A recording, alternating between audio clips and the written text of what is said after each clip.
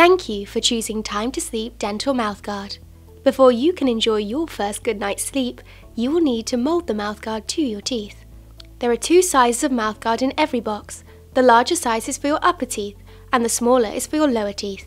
Please note that the mouthguard will shrink a little during the moulding process. To retain the best possible fit, only trim the mouthguard length once you have followed the instructions. This may only be relevant if you have a small mouth or suffer from extreme gag reflex. First, boil a kettle. Then pour the heated water into a small pan or bowl and keep the water at a simmering heat.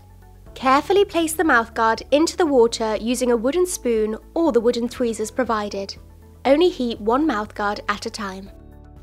After approximately 10 seconds or as soon as you notice the edges of the mouthguard beginning to curl, remove the mouthguard from the pan with your wooden implement.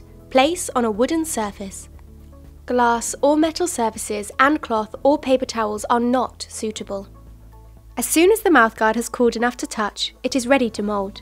Place it inside your mouth, bite down on the guard with your teeth. Only fit one mouthguard at a time. Suck out all the air and water to create a tight fit.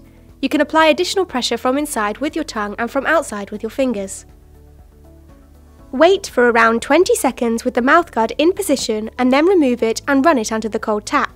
This will harden the plastic and complete the moulding process. Your mouthguard is ready to use. Now is time to sleep.